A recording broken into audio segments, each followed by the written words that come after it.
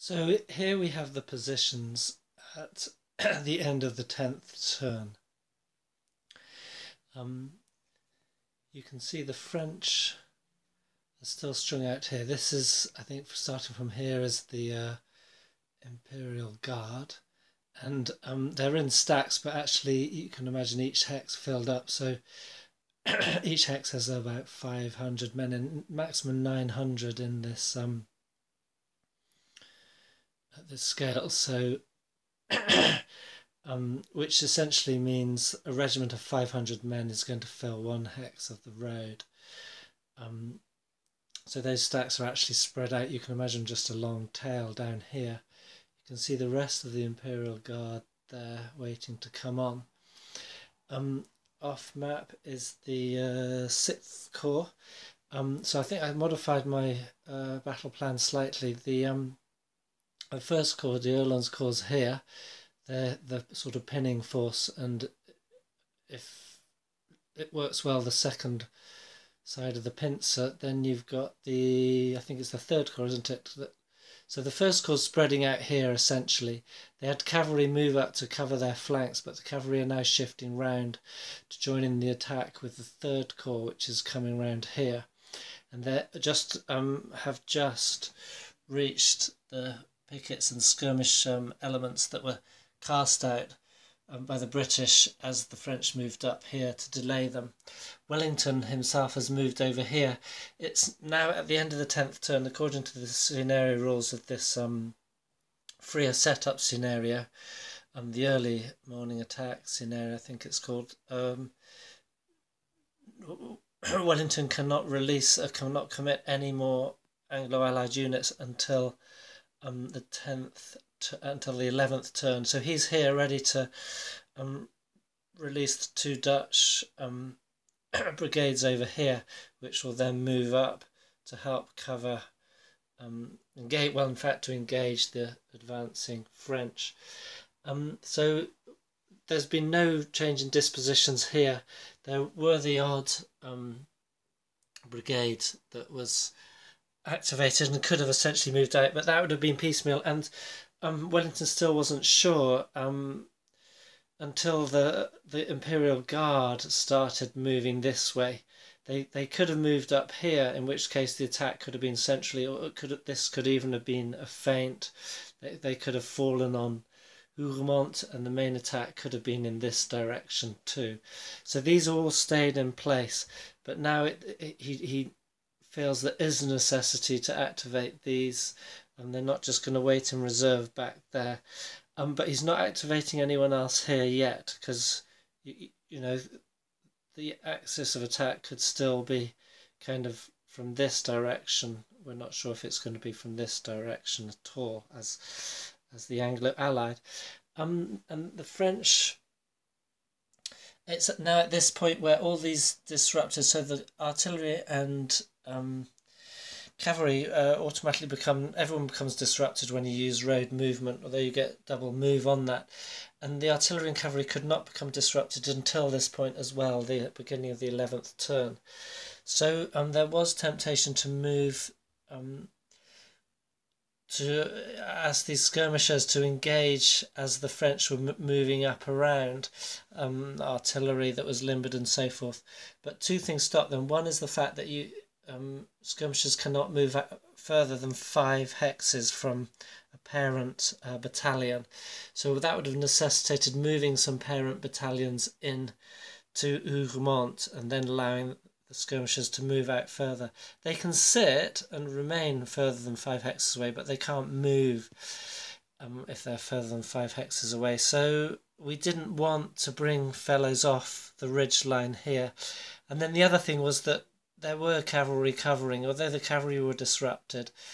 Um, it would have been a risk. Uh, the skirmishers may well have just got run down, and that would have then left gaps in the defence of Hougoumont. Um, so the French are forming up here. Um, got some artillery. Um, uh, there's some cavalry still covering the flank here, but essentially they're sort of forming up into three lines here and one line here um, so I think the first corps is going to be tasked with taking this. And well, yes, that's that's my plan. We've got um, cavalry coming back around here and here, um, cavalry divisions, and then you can see, oh, it's second corps, not third corps. So second corps all the way up to here and here. Second corps artillery that have moved out onto the secondary road. So they'll try and get as far as possible under cover from some infantry while these infantry start to engage. So um, the artillery are going to have to, to cover that, um, them as they move out, so that the rest of Second Corps can move up and assemble ready for the assault. Um, and then um, Sixth Corps are going to defend the flank.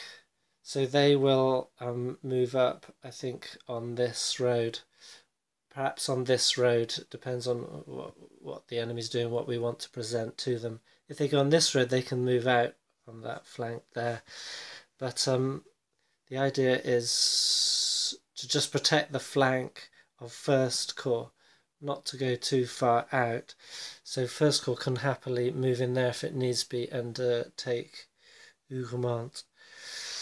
So that is the position at present. And um, the um, 11th turn is 11.45, so in two turns' time it's it's noon. So you can see the uh, it's still going to take quite a while to get into positions before the, the French attack really takes off. And at um, 3 p.m. the Prussians will start arriving over here. They are a long way off, but you can see it's not the French still will not have much time um, even sort of swooping around here and hoping to um, not encounter the, the difficulties of attacking the ridge. Um, a, they're going to be held up by the Dutch there, and B, it's taking a long time. So we um, I haven't really timetabled it, and, and, and I'm not sure how long it's going to take, but hopefully the um, Sixth Corps will be able to hold off. They might have to move up to. Well, Plancenoit would be fine if they held the Prussians off at Plancenoit. It depends if the if the Prussians come uh, onto the flank of the First Corps or if they come try coming down here to cut off um, the supply lines. So it will depend what the Sixth Corps has to do. And there we are. That's the position at mo the moment.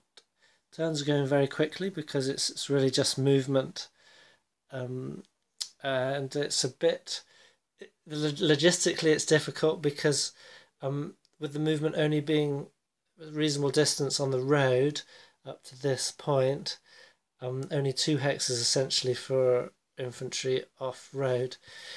I've been trying to stick to roads, which of course meant we've had lots of log jams, occasional units sort of losing their leaders because they were in the wrong place in a line and so forth. So it's taken quite a while to sort out First Corps and um, transition the uh, cavalry across. Thinking about it, I, I should just have sent the cavalry straight up here. They could have started dealing with these skirmishers um, they didn't really need to cover the flanks because uh, if Wellington had, um, he couldn't commit any other units. If if these had started moving, or, or, either of these, any of these on the top had started moving down to engage First Corps, that would have weakened his defence, and that would have been good for us. Um, he didn't have any cavalry committed, so that there was no threat from cavalry. I played it as though Napoleon was considering there was a threat, but thinking about it, I should have let um, First Corps just uh, take that as it comes. Maybe held some cavalry in reserve back here just in case. But so they're gonna they're slowly working their way around. And they should be able to help um, clear out these skirmishes soon. And I and I, I, I don't know that artillery and the, those cavalry and then some of the the um, uh, Second Corps are going to have to deal with them. That's going to be the next major um, the, the first sort of phase of the major phase of the operation, and then it's and uh, in, at the same time as that will be First Corps taking Hougoumont, which is a difficult proposition. Um, French units are just starting to break down into skirmish companies in preparation for taking on these skirmishers. Uh, it's difficult. It's slow moving through there. It's a lot of feeding in the skirmishers back and forth. The skirmishers, slow attrition of skirmisher units against each other. I'd like to ignore it as the um, as the French, um, but the worry is is that, that um, then the British might move a uh, brigade in, and then the skirmishers could move out and cause a lot of harrying damage and disrupt um, assembly and, and attacks as they went in. So it is a sore and it has to be taken out, I feel.